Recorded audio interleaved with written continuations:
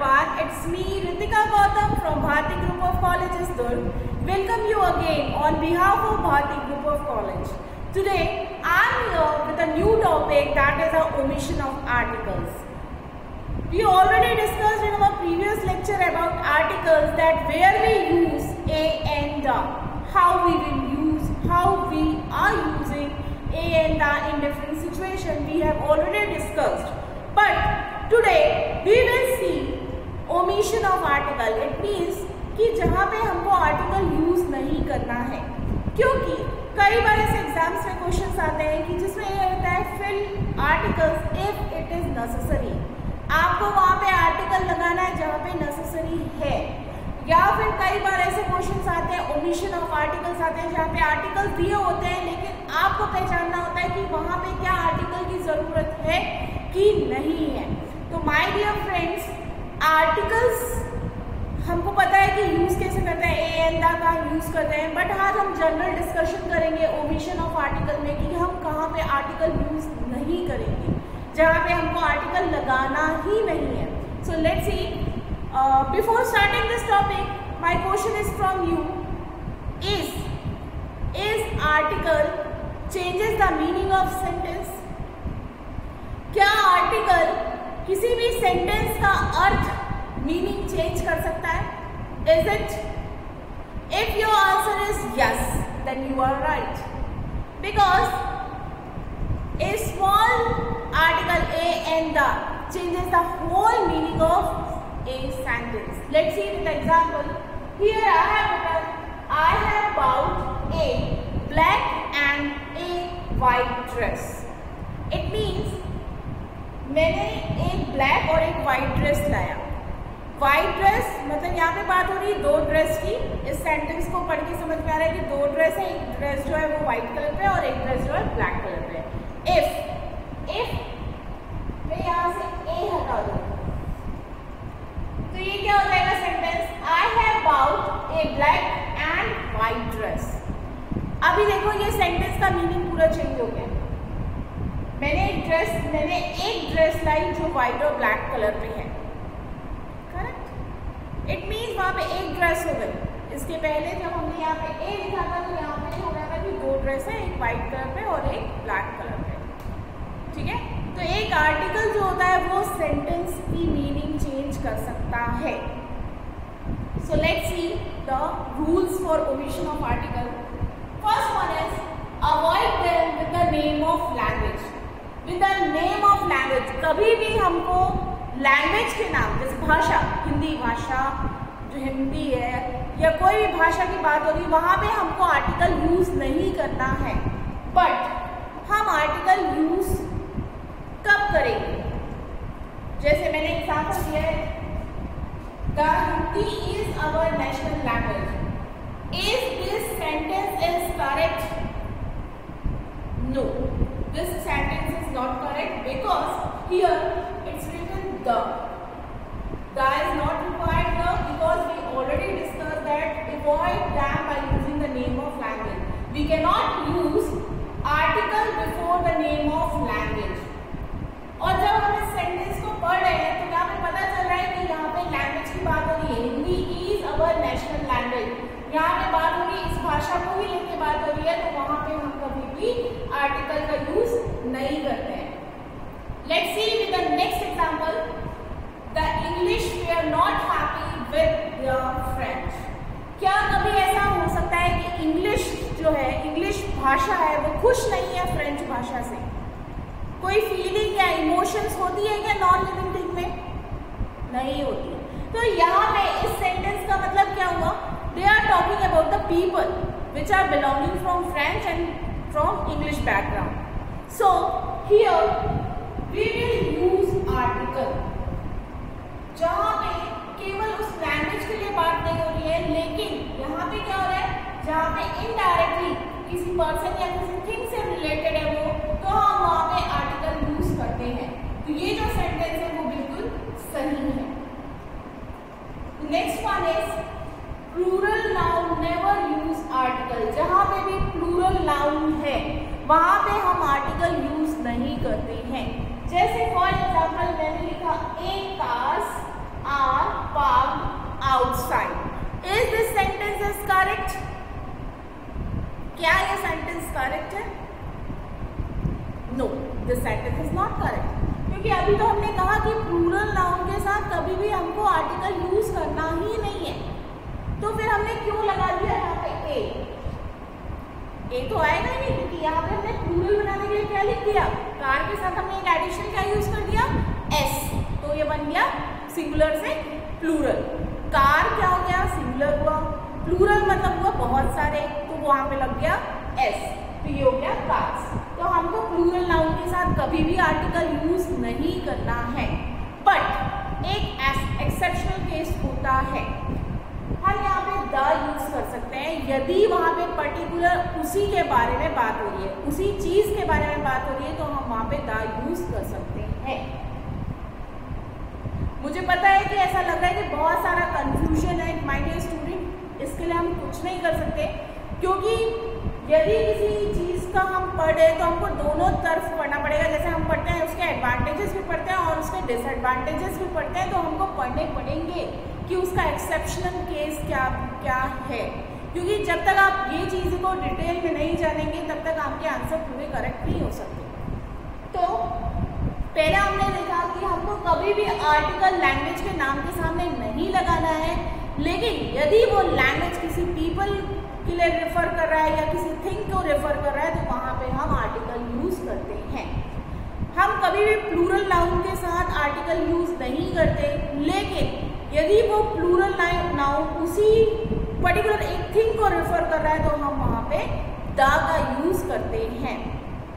Let's see third one never use article with material noun what is the examples of material noun example of material noun you can say gold silver copper aluminium this all are the example of material noun here I have written कि आपको article कभी भी material noun के साथ use नहीं करना है। सबसे एक कॉमन क्वेश्चन है, हमेशा आता है dash gold is precious metal तो कभी भी हमने ये पढ़ा कि कभी भी हमको, कभी भी हमको मटेरियल नाउन के साथ आर्टिकल यूज़ नहीं करना है तो ये तो बहुत सिली क्वेश्चन था कि हमको ना तो दा लगाना है, ना तो ए लगाना है। जनरली स्टूडेंट यहाँ पे दा लगा देते हैं। सो माय डियर स्टूडेंट आपको ये याद रखना है कि आपको कभी भी मटेरियल नाउन के साथ कोई भी आर्टिकल यूज़ नहीं करना है so let's see an example The statue is made up of an iron. Is this sentence is correct? क्या ये सेंटेंस करेक्ट है अकॉर्डिंग टू मी ये सेंटेंस गलत है क्योंकि अभी तो हमने पढ़ा कि कभी भी मटेरियल नाउन के साथ आर्टिकल्स नहीं लगते। तो यहाँ पे एन की क्या ज़रूरत है? करेक्ट सो so, अब हम चौथा रीजन जानते हैं कि कब हमको आर्टिकल नहीं यूज़ करना है। When we visit a place for the primary purpose for it is meant for that do not use article जो ऐसी जगह है जिसके लिए वो बनी है उसके पर्पस के लिए आप जा रहे हैं तो हम वहाँ पे कभी भी आर्टिकल यूज़ नहीं करते प्राइमरी पर्पस के लिए। जैसे फॉर एग्ज़ाम्पल मंदिर टेम्पल्स टेम्पल्स क्यों बने? गॉसिप करने के लिए, मिलने के लिए, या मीटिंग पॉइंट के लिए, या प्रेयर के लिए वर्शिप के लिए किसके लिए बने? करेक्ट वर्शिप के लिए प्रेयर के लिए। तो यदि हम टेंपल में किसी से मिलने जाते हैं तो क्या वो उसका प्राइमरी पर्पस है? उस प्लेस का प्राइमरी पर्पस है? No no. क्योंकि टेंपल का प्राइमरी पर्पस क्या है? वहाँ पे प्रेयर करना, पूजा करना. करेक्ट तो ये चीज़ क्लियर हुई। हम इसको हम देखते हैं एग्ज़ाम्पल से. I am going to the temple to attend a marriage of course temple में शादियाँ होती है सेलिब्रेशन होते हैं, बहुत सारे फ़ंक्शन होते हैं. But we are talking about marriage कि मैं टेंपल गई आम गोइंग मैं टेंपल जा रही हूँ, लेकिन एक मैरिज अटेंड करने। क्या ये इसका प्राइमरी पर्पस है? टेंपल का प्राइमरी पर्पस है मैरिज अटेंड करना? नहीं, ये इसका प्राइमरी पर्पस नहीं है, क्योंकि टेंपल का प्राइमरी पर्पस क्या है? वहाँ पे प्रेयर करना। तो जहाँ पे प्राइमरी पर्पस की बात नहीं हो रही है, वहाँ हम आर्टिकल यूज़ कर सकते हैं। बट यदि वो प्राइमरी पर्पस की बात होती आर्टिकल यूज़ नहीं करते। For example I am going to the market I am going to the market I am going to the market for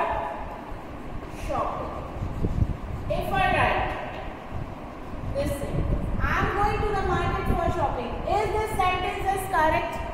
क्या ये सेंटेंस करेक्ट है? मार्केट क्यों बना हुआ है? ऑब्वियस शॉपिंग के लिए मार्केट हम क्यों जाते हैं? शॉपिंग करने। तो यहाँ बोल रहा है I going to the market for shopping मैं मार्केट जा रही हूँ शॉपिंग के लिए। तो यहाँ पे क्या आर्टिकल लगेगा कि नहीं लगेगा?